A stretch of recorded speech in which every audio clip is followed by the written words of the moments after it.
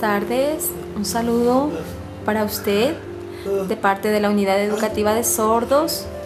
Gracias por aceptar esta entrevista con nosotros. Eh, ¿Tú qué opinas sobre la participación de las personas sordas en el proceso electoral anterior?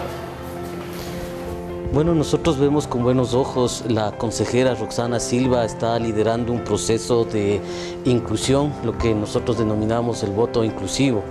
Eh, ustedes saben que todas las personas con discapacidad tienen el derecho al voto facultativo, igual que los adolescentes. Nosotros estamos viendo con mucho interés y con mucho interés a nivel nacional y principalmente acá en la provincia de, de Imbabura, que personas como ustedes tengan el acceso y más bien ustedes sean los aliados estratégicos para que otras personas como ustedes que no están en los centros educativos también tengan ese mismo acceso y ese mismo derecho. Si bien es cierto el voto de ustedes que es como jóvenes, como adolescentes, pero también como personas con discapacidad, es importante para que no sean otras personas las que les den decidiendo a ustedes quién va a ser el representante de la ciudad. Eh, ¿Ustedes cómo están planificando para que la información del proceso electoral se dé y se mejore? Una información más completa. Bueno, nosotros hemos pedido a través del patronato provincial tener un contacto con la unidad que, ustedes representan, porque nosotros lo que estamos intentando es que en todos los espacios donde nosotros hacemos presencia pública tengamos una persona que haga la traducción. Creemos nosotros importante también la socialización del reglamento que está para las personas con discapacidad. ¿Qué piensa usted de contratar personas sordas para el proceso electoral? Bueno, nosotros le hemos dado a esta institución una mirada no solamente a la parte de discapacidad, le hemos dado también una mirada a la parte generacional, le hemos dado también una mirada a la parte étnica. Nosotros estamos contratando una persona que nos pueda ayudar dentro del proceso del trabajo, eh, tenemos un contacto y no estamos cumpliendo lo que dice la ley, sino que más bien estamos superando lo que dice la ley. Eh, una pregunta también ¿Cómo usted va a hacer que los grupos, a garantizar que los grupos políticos eh, den su información en lengua de señas?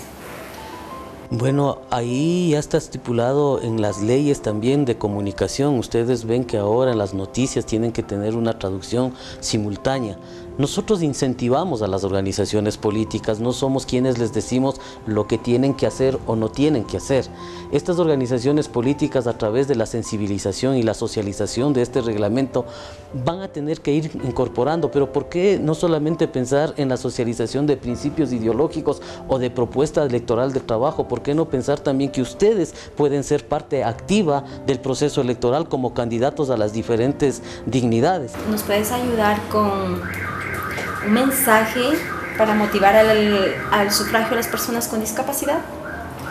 Bueno, decirles lo que yo he venido repitiendo, si los ciudadanos, los jóvenes, las personas con discapacidad siguen dejando que otras personas les den decidiendo a las autoridades, a los gobiernos locales, vamos a seguir teniendo problemas porque no va a haber una mirada desde ustedes para la construcción de la política pública. Creemos importante que la participación de ustedes en la selección del candidato adecuado permite también una inserción directa de ustedes para construir política pública que de alguna manera tenga un beneficio más directo y llegue de una manera más pronta a las necesidades que ustedes tienen.